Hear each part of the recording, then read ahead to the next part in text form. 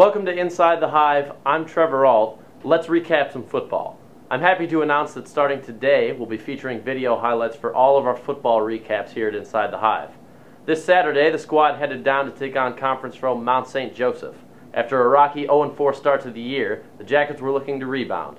And when I heard the news we'd be showing some game footage, I told the guys to bring me back some highlights, and they did not disappoint. Let's take it down to the field now, halfway into the first quarter.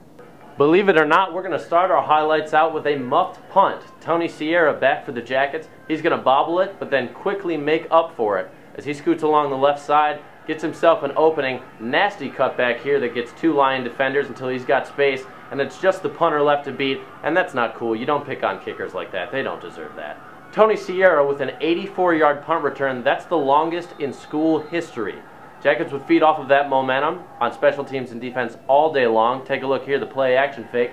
Chris Pettigrew doesn't buy it. He goes up and makes the interception at the Jacket 23-yard line. Good coverage was a theme of the day. The Lions held to just 93 yards through the air. You see another one. This is what they call a coverage sack. Nobody open. DJ Brigham brings the quarterback down at the 36. Take it to the fourth quarter. Jackets down 10 to 13. Rick Powell doing what he does best with the QB read.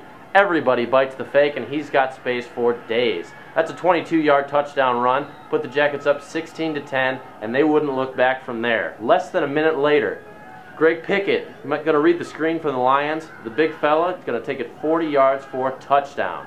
We're going to give you another look at that right here. You'll see Pickett coming off the stunt, reads the screen, gives himself a bit of a tip, and the big fella taking it 40 yards.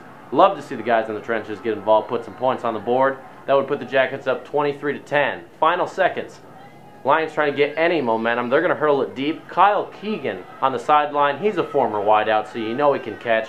Makes the interception at the three-yard line, and that would seal it. Jackets pull a win 23 to 13. They move to 1 and 4 on the year. Next week they'll return home against winless Earlham, the conference opponent. We'll have coverage right here at Inside the Hive.